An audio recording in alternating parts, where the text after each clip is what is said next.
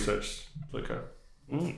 Um, our last show was way back in 20 May the 7th, I think.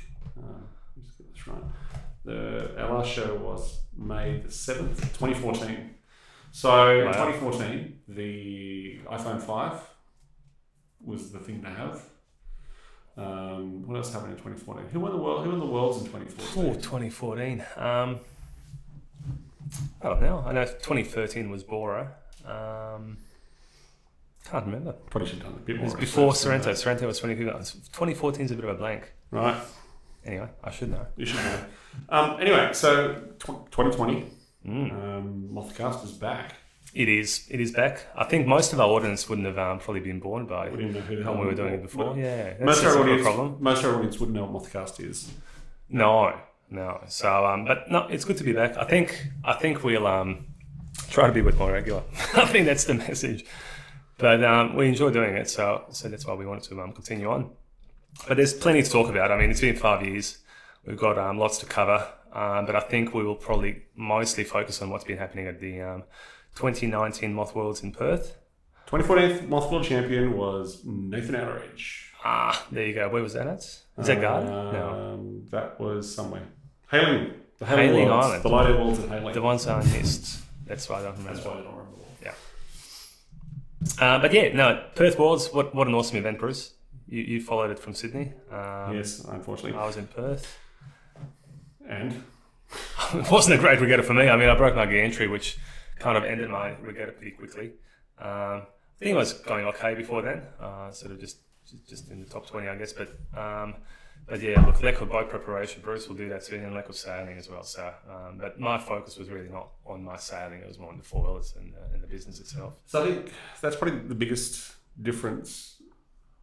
I think, to be honest, now for, for Damek in 2020 versus Damek in 2014. Yeah, 2014, I was just um, full ti- time in furniture sales, and you were an amateur. I was an amateur. Now I'm defined as a professional because I've got a foiling business. But um, yeah, lots has changed, hasn't it? Well, Not so much for you because um, you haven't changed careers, but I have. no, 2014. Well, yeah. So since oh, it's old news, but you know, new boat and that sort of stuff. I've have changed companies. Actually, haven't changed careers, but, Yeah. but changed companies. Um, my son's just finished high school Mm. already, so a lot's gone on um, in, in in real life outside um, since 2014. But yeah, it's um, so what 2014 Nathan Outteridge. So one in uh, Mark Two. Uh, In Mark II, yeah. that was probably the start of the era era as well. So Well, this is part of the dominance. You know, they've been dominating for seven years. I think it's seven successive um, World Championship wins for the Mark II. And um, it's obviously changed in the last three years, or four now, now that um, Slingsby's won the last one.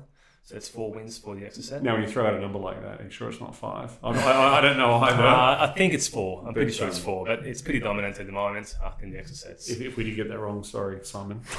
Uh, anyway, it's been, it's been winning clearly, uh, and Slingsby was um, yeah absolutely brilliant in Perth.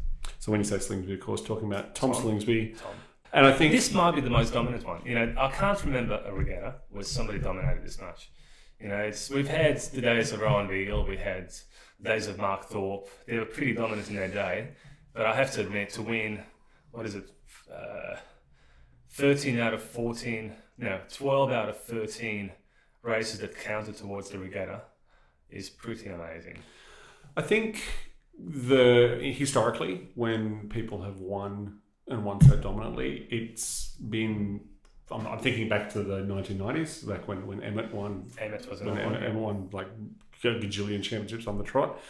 Generally, then we'd sell one race a day, and it would be five-ish races plus the Yeah. invitation race. So it'd be five long Olympic style courses. So yeah. nautical mile, so you know nautical mile triangle, nautical mile win and Yeah. return, nautical mile triangle. So a total of um, what's that? Uh, eight nautical miles in total. So long and low riding. Yeah. So long, long hard days. Um, and yeah, I think back then you would have definitely seen that level of dominance. But I think the big difference now is we're doing four races a day. Yeah, and also what's changed is the class. While it was competitive back then, it wasn't as competitive. You know, you kind of had top, you know, ten guys maybe. They were they were quite dedicated to it. Now you've got top thirty, almost selling full time. You know, there's, a big number of people that are doing this um, semi-professionally, And certainly in the lead up to, to Perth, um, in Sydney, there would have been a group of maybe five or six guys that were selling just about every day. And that sort of um, dedication to the, to the sport we haven't seen in a long time either. So it makes it even more impressive because it's not like you've got one professional guy standing against a bunch of amateurs that aren't training, which might have arguably happened back in the day a little bit more. Yeah. Um, now you've got a big group of people doing um, all they can to win and develop their weapons. And, and the big battle, you know, that, that always happens was actually before the regatta um, in terms of boat development and trying to get an edge on your competitors. And that's that's where it became, you know, fairly clear that Tom had a bit of an edge in the in the fresher stuff. Um, it would have been interesting to see what, what would have been the outcome had it been a little bit lighter. Um, I think there was a few other guys that were fairly But it's Perth, Luca. it is Perth, and this is the thing, you know, we it seems to only be either very windy or not windy at all. So, um, you know, the sort of 10 to 15 knot range that you'd expect from a typical regatta, we didn't really get a lot of. Um, we probably had it at the bottom of the course, big differences between the pressure and the top and the bottom of the course.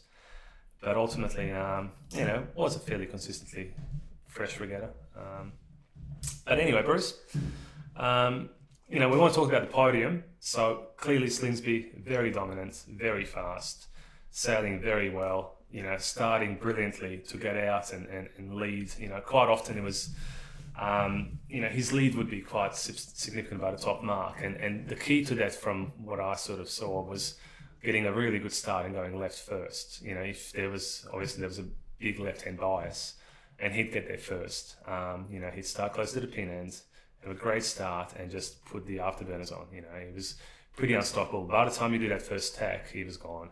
And then downwind, um, definitely a bit of a speed advantage as well in being able to just drive hard for longer and um, and extend by the bottom mark. And um, yeah, pretty dominant. I think the one thing that um, you can see in the armchair from the other side of the country, or the other side of the world for that matter, is um, sorry, segue. Gotta love this drone coverage. The amount of the amount of um, the amount you can see. Well, actually, I do and don't. Like I think I, I think Bo Outteridge does probably the best coverage of the moth that we, we get out there. Um, and the, the thing about the drone coverage is, particularly when they're running the top mark and you're looking down the course, you can actually just see what, what you can't see on the boat, Yeah. which is see all the pressure is. Yeah. And so for me, that's where you could really see where Tom's speed's coming from. And to be honest, I don't know if- how much was coming from the boat, but to me, it's all all coming between main sheet and tiller. And you could literally just see once he's got the lead, he's just oh look, there's a gust, and Tom goes right for it. And look, the breeze is coming out. You could just see he just picks and goes. Yeah, I think it's a combination of things. You know, it was look, he, he was fast. You know, boat speed wise as well. Definitely a bit of an edge, and I think that came through probably a rig development more than anything else. I know that the standard pictures that you know it's a standard North Sail off the shelf, but not really. Um, you know how these it's, things work. it's also what And- you do with it, right? Yeah, absolutely. And and look, the sail, the rig package worked beautifully. CST rig, North sail, set up really well, uh, developed, you know, to the last minute, and um, so I think definitely that that gave him a bit of an edge. But having said that, Rob Greenhalgh had the same sail, and so did um, uh, Steve Thomas. There were three of the latest generation sails. You know, I bought mine probably two weeks before the event, uh, along with Tom Burton and a couple of other guys, and our sails weren't the same you know, we, we weren't, we didn't have the deck sweeper development to the point of the of the latest sails that the other three guys had. So there's definitely definitely a bit of an edge in that. Um, foils, uh, hull, you know, platform itself. Um, you know, the, the foils that Slingsby used were slightly tweaked, you know, fixed steeps slightly. Um, I'm not sure if the main was cut down. I wouldn't be surprised if it was a little bit. Yeah, yeah. Um, so fast four package. Um, service from Simon Maguire there was there was second to none, you know. But they did change the wing bar, uh, outer wing bar, just before the last race or before the last day. Uh, so there is a bit of maintenance that people probably wouldn't have uh, realised in the background. And then um, on top of that, you've got a 90 plus kilo guy in 20 plus knots that we got most, most days, which goes a long way. And, and I think that's the difference between probably Tom Burton in third and Kyle and, and um, Tom Slingsby in first and second. Um, that extra 10, 15 kilos, when you're going upwind and trying to do 20 knots, it, it does pay off. And then Fat on top of that, fast. Fat is fast. Fat is fast, and this was a heavy regatta. So that's sort of attribute number two. And then lastly, I think just Tom spending the time in the boat and just getting most out of it. You know, we sort of hang, a lot of us are hanging on in 20 knots, you know. You've got to be super fit, and Tom is super fit. He hikes hard, he plays the main hard, and he keeps the boat in the groove for longer than most. And I think a lot of the speed is obviously just Tom sounding well. Yeah, it's it's it's, it's really interesting. So you know, um, you know, no lack of credit to Maguire. You know, obviously the package is still quick in the right hands. Um, but yeah, congratulations to Tom. Um, moving down the fleet a bit, Mr. Langford. Langford, yeah, impressive. Not very impressive. Close second, not really, but strong Mm, second. strong second. You know, he looked really good in the um, qualifiers. We all thought mm, Kyle could actually take this out. Um, he had a ton of boat speed um, and sailed well. And again, big guy, 90 plus kilos, sails the boat well, very fit, um, and put in the time before the regatta. And that also contributed to the lot of speed. I think the package itself was potentially, um, in my mind, maybe a little bit better. I think um, the air on the beak is pretty sweet, and the gains that have been made in that area um, are very good. And I think obviously a good tall package and, and, a, and a good rig from Doyle's. So, which was a little bit flatter than the north. And I think again that suited the heavy guy, heavy breeze that we got. I suppose that's really, if you're just stepping out of, out of the worlds for a second, and uh, if you look at, I think, where we were running back in 2014, very much super stiff masters, like I think the Elite 3 was the CST master Yeah. at the time. Um, still very much, I think, KA sails still definitely right up there. Um, I think most people with the moving away from the 10s, I think the 16 um, was probably the, the, the sail from, a, from an Aussie point of view anyway.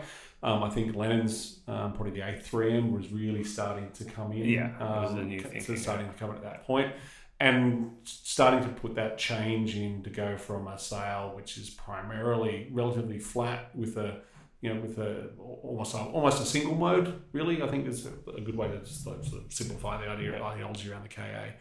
Um, not a single mode, but you know what I mean. Um, as as a distinct from the Lennons, which were very much a let it off, really get this huge grunty sail to go Yeah, down. huge range. I think that's been the development of sails that we've seen over the years. Is that you know the range has just gotten so big now. You've got this super powerful sail when it's light and, and for downwind in, in, in lighter breezes as well. That can really flatten off, and, and that's really just kind of gone the opposite way of where it was heading a few years back. The masts have gone softer again.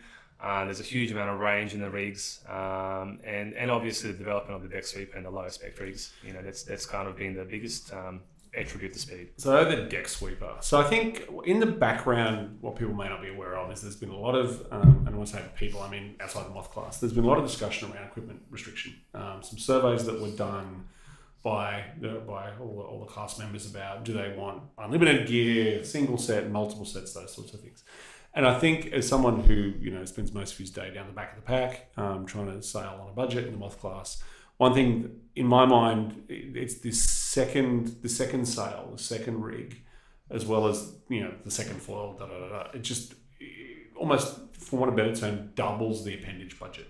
Uh, Yeah. And so I think we were going down a path. I think probably eighteen months ago when deck sweepers were starting to come in, where it's like, I know for me, from as a measurer and someone who sort of looks out from that side of the class, sort of thinking around some alarm bells going off, as in, um, I'm gonna have to have two rigs because the deck sweeper was shown to have a clear advantage, and I think two years ago it was probably 18 up was when it had Yeah. a really clear advantage. But we weren't sealing them to the deck yet because we were still running the classic Yeah. boats where most boats still had compression struts. The, the, Yeah. I think the Exocets were starting to sort of come in with some of the compression strutless compression strutless boats. Um, so that's definitely the direction that we were. I think fast forward to 2020, um, I think that's all changed now. Yeah, massive, um, massive gain. Oh, and, and coming back to the third guy, because, you know, just to sort of round that off, and um, development that he's put in with um, Andrew Chapman of, of um, Chaps Sails, or The third guy being uh, Tom Burton. right. So Tom, Tom put in a t- ton of time with, with um, uh, Andrew with Chapo on, on developing his rig. And that's, you know, but it is all heading in the same direction. It's about bringing the rigs down low, um, c- you know, the center of effort down low, sealing onto the deck. Most of the top, you know, probably 20 boats would have had some sort of a deck fairing um, to actually get that end plate effect. And, and we saw a proper seal, where before, you know, there was sort of four deck level. Um, so the new generation of sail is definitely all the way down, deck sealed, extending the, the the lengths of the deck sweeper, you know, so that you get a longer um, end plate effect. Longer sweep. Yeah. Yeah, so mainsheet bridles have come back as a consequence to get that really nice and big. But you know, also improving the air as you feed the air into the deck, into the deck sweeper panel, so which is quite quite important. But coming back to Tom because we haven't talked about Tom uh, Burton in third place. Um, sailed an amazing regatta in a Mark II, which is absolutely not stock standard, um, which is probably as far as you can get away from a standard Mark II. But nonetheless, with stock wings, you know, the old wings with um, uh, compression struts um, and low. Yeah. So definitely, you know, I think for Tom, there was definitely a bit of a loss in power through the, the low wings. Um, and and you know didn't he do an awesome job to just be so consistent and come third when I felt that he probably had a slight deficit in speed uh, through the platform, which just wasn't as fast as the um, the latest um, Exo and the, and the Biekers. And I suppose that's the. It was an interesting tell. I think when we had a very light day. I think it was the last day before you packed the boat up to go to the Worlds, where um, you were running the. From memory, you were running your Swift Small as well as the North Deck Sweeper as the final system check, Yeah. right? Obviously, results that matter in the club race. It was like, Yeah. let's just this is what I'm going to run at the Worlds. Let's just Yeah. check it. And what I found really surprising is how well that package did right down range to basically Yeah. where, where you know me Marginal no, fall me, me with no yeah. technique can't Yeah. couldn't, couldn't take off Yeah. with, with, with my life. I think more so the sail. I think the Swift Small, yes, it gets early takeoff. Um, but I would have been quicker on the day had I had the large foil, no doubt. Um, but I think the rigs are far more versatile than foils. You know, the foils are static. You know, you've got X amount of area. You can't really reduce it. You can't change the camber of the foil mid sailing. You've got the flap, but obviously you can't really modify it. The sail you can. Yeah. You know, sail's far more versatile. If it's a full sail, you can pull the controls on and get it to be flat. So you've got a little bit more adjustment, and I think the sails are actually going down the range better than the foils. So it is possible, I think, to actually sail with a with a low aspect deck sweeper that seals on the deck all the way from you know five knots to 25 and actually get the full benefit at both ends of the spectrum Yeah. not really possible with foils i think foils you know and as as proven by all other foiling boats out there that are competitive like the f50s and whatnot you need multiple sets of foils you just cannot get away with a large foil when it's windy and you cannot get away with a small foil when it's light We'll come back to foils in a minute. I just want to finish talk, sort of talking about the, the rig. So I think the point that I was sort of alluding to is that I think the concern that I had around that you'd have to have two rigs it actually hasn't eventuated, right? It now comes down to as long as you're prepared to get, you know, the, spend the money and get the north and assuming that it lasts. Um, from materials point of view, um, that probably is the one rig that you can buy. Um, you can probably afford to buy one rig for most people at that Yeah. price because they're, they're, they're, Another not thing to note, there's two masts, right? Yeah. You know, people are using two top sections, so that's actually increasing the range of the sail because you've got the stiff tip which you can put in when it slides, get a little bit more depth up high, and um, so that's definitely helping the range. And, and And that's uh, that's where CST, how they Yeah. really come to the party with Yeah. their whole ToPro pack, which is this idea now of not you can have to buy a stiff mask and a soft mask. They actually are making tips to bases where Yes. you can actually choose and customize for your weight. Yeah. a, a, you know, d- different parts that you can put together. yeah, and good thing for the class because you can buy a tip now for you know 700 odd Aussie dollars and not have to buy a whole mask should you break one. You know, so there's also the cost benefit of Oh, it's Of being massive. able it's to- massive. to so I think I did. buy A, I bits. think I did a rough check, and I think if you were to buy the entire pack, all six pieces, that's still cheaper than one file. Yeah, yeah. Which so I think you know rigs, rigs certainly it's it's it's definitely um, the range big, and and I think most of the guys uh, at the regatta because of the conditions we got ran only one. I know certainly Tom did. Um, you can only register two anyway. I had two masts, two sails, but I didn't touch my um, large wind um, mast and sail. So it almost comes down to you'll go back to a spare as a, if you can. If like Yeah, and you know, we were talking about this before the show. If you've got four races and the first one's going to be light, well, you can't really rig up for that one. You know, you've got to sort of say, well, I'll, I'll just suffer in the first one. As the breeze builds in the afternoon, I'll be in the right equipment for the next three. So it, it's a brave call to rig up for the conditions you've got. You've really got to sort of look what's what are you going to have in two hours' time and try to get the best of um, you know the, the, the overall better. Right, so let's just quickly um, come back and just so Slingsby dominant first, um, Kyle, you know, dominant second, but a gap back to back from first, and then Tom, I think, um, I want to say punching above Mark II's weight, not above Yeah. Tom's weight, but punching, Yeah, bring, bring the definitely. above, above his weight. So I think in my mind that does two things. One, it sort of cements um, the fact that it just really shows how not irrelevant, but how much the platform, the actual hull shape, and those sort of things really don't matter. Aero now is by far more dominant than round or flat. And sure, you know, maybe the if it was a bit lighter, the um, the Exocet may have a less sticky hull for takeoff. So on a more varied regatta, you'll see more variant. Yeah. Particularly as you probably saw the Mantas coming to a little bit higher on the on the, on the lighter day. Um, so that's the one thing that comes to mind. But what I also want to understand is, um, as I've got the four manufacturers sitting right across from the table. Um, so Slingsby is running, you know, modified, Before Yeah, it's just that small, right. fixed Um, modified. So what was number two and number three running? Uh, number two, number three, and number four, incidentally, we're all running Marfords, which is great. So Swift um, Smalls, which, um, which to be honest, um, without trying to sound arrogant, but we knew that that was going to be the foil for this regatta. You know, it, it is the smallest production foil you can buy. Um, you know, that might change, of course. I know the Cookie's been working on some really small foils as well. But as the boats get quicker, the foils are naturally going to get smaller. So when I designed the Swift range, there was always the goal is to have a smaller small and a smaller large than what was the norm, knowing that in a year or two it's gonna it's gonna come into its own. So yeah, um, eleven out of top fifteen had Swift oils, and that was um, that was a foil to have. So there's a bit of difference though in. Um, so let me just confirm. So Kyle and um, Tom both running with Smalls horizontals. Um, rudders. What rudders were they? Rudders, um, Kyle might have used a new Bieker rudder. Yeah. They've come up with a quite a nice looking um, uh, rudder package. Uh, I don't know what size. Uh, the, the one that I had a look at was quite small. I'm not sure if he had the new small one. He does also have my rudder from memory that he might lose, uh, use when it's a little bit lighter. Yeah. Um, Tom had the full Swift, you know, setup. He had the new uh, vertical as well, which is thinner and shorter cord. I think definitely again in that for him. Um, and uh, Swift uh, large as well that he might have used on one day in the qualifiers from memory, uh, or perhaps the last day.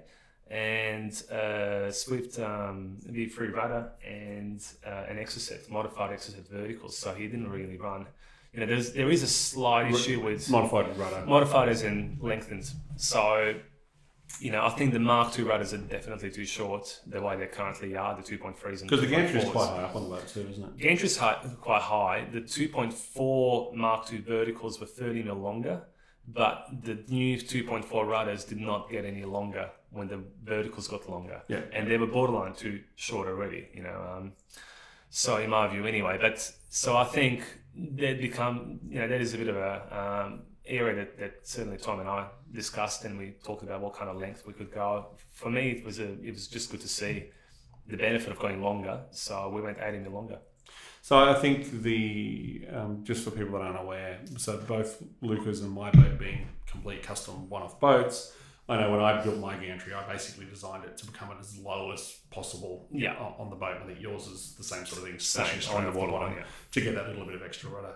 Um, and the reason for that is because there is definitely a relation of not wanting to carry too much. If your rudders, if your the length of your centerboard and rudder aren't optimized relative to each other, you'll carry too much of one Absolutely. or not enough of the other, yeah. and so compromise. And look, the idea of, I mean, not that other people have followed, but the idea of the low gain gantries was that you also reduce the, the torsional moment on the gantry itself. So because it is lower by 100 mil, that actually equates to quite a lot of um, How, how, load. how did that work out for you, though, Luca? well, that's the bit that failed, isn't it? You know, for the ones that have um, followed the racing. Yeah, clearly not a good design. So don't copy. It's but how funny that both Marty, who who Johnson, who has a sister ship that, that obviously built uh, mine and his boat, um, you know, combined effort nine Yeah. years ago.